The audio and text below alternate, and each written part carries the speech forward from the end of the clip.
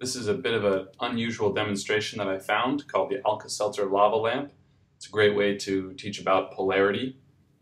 It's pretty straightforward. You're going to take a graduated cylinder, put some water in the bottom of it. You can add food coloring if you want.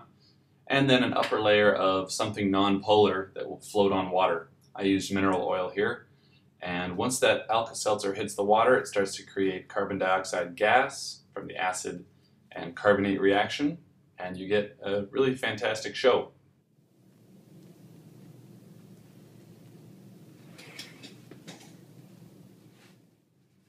After the demo is finished, the two layers are going to separate back out completely into the water layer down on the bottom and the non-polar layer on the top. It's pretty easy to separate them if you have a sep funnel.